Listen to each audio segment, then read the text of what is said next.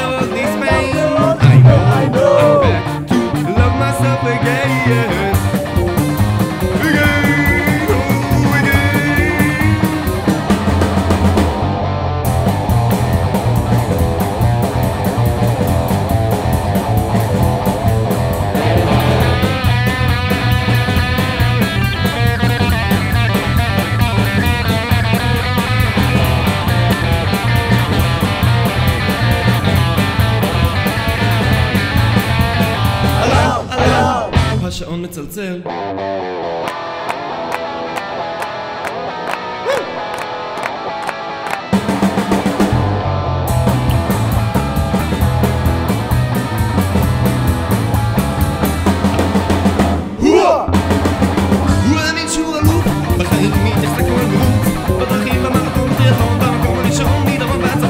להיות ביום, זוכר אומרת שיצחק ישאר את העשירון גם מן המתחרים הייתה